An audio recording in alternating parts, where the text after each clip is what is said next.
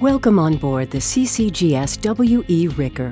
This Canadian Coast Guard vessel is carrying a crew of 20 and a science team of six who are conducting a science mission at sea for Fisheries and Oceans Canada. They are out on the water in search of fish to count as part of the science programs to support fish stock assessments to advise catch limit setting. Hi, my name is Chris Grandin. I'm the Hake Program Head at the Pacific Biological Station in Nanaimo, BC.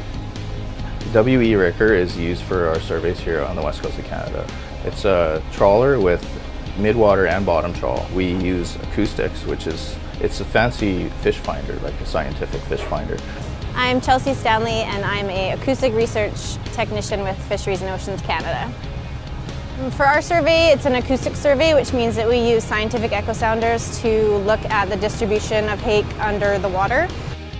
It takes all hands on deck for a successful mission. The captain, he is in charge of the ship and has ultimate responsibility for the safety of the crew on board. The bridge officers navigate the ship. The engineers work to make the ship go, lights work, and even make clean water to drink. The fishing master, drawing on his experience with the fishing industry, he works closely with the chief scientist on board to find the fish. Advanced acoustic technology is also used to decide where and how deep to cast their nets. The crew on deck work to pull in their catch and make sure the gear is in good working order. The fish are lowered to the wet lab, where scientists process the samples. The fish are weighed, measured, and dissected to determine their sex, sexual maturity, and digestion.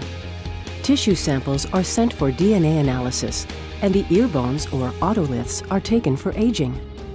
They use other tools to sample the water to measure the temperature and chemistry of the water, and bongo nets to collect plankton suspended in the water column.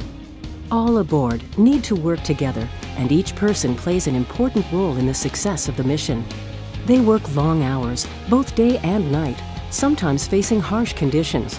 And at the end of a shift, they head to the place that some say is the most important part of the ship, the galley, for a hot, hearty, delicious meal prepared and served on board before heading off for a well deserved rest in their cabins.